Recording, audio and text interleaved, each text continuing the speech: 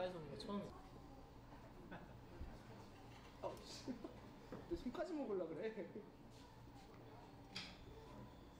없어, 없어. 肉我觉得还是直化妆，它不是这个。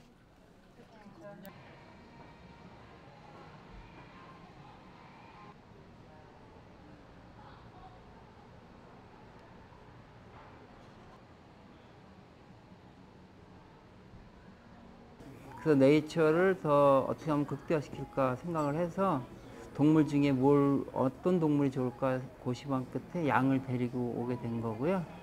그 양이 와서 4년 전부터 데려와서 키우다 보니까 사람들이 되게 신기하고 관심이 갖게 되죠.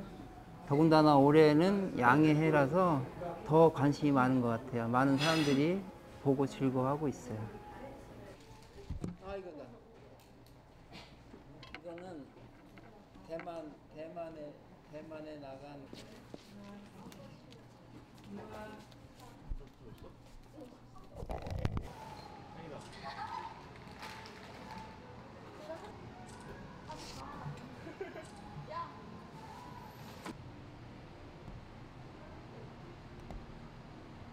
양들 보고 양들 좀 만지고 하니까 좀 진짜 동물원을 온 것 같고요.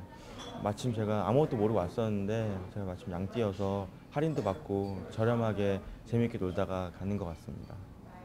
Um, I'm an, an international teacher in Shanghai, and I'm on holiday for the Chinese New Year here in Seoul. And um, so I know about the sheep from being over there. And while I was in Seoul, we found out that there was a sheep cafe, and I thought it would be a really cool way to spend my Chinese New Year. So seeing the sheep, um, they were really cute and fun and fluffy, and um, it was a really cool experience to be able to feed them, and it was really awesome.